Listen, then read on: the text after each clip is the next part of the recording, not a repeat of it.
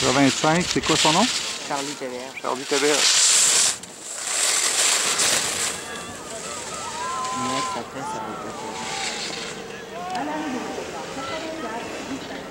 Le prochain? Ouais.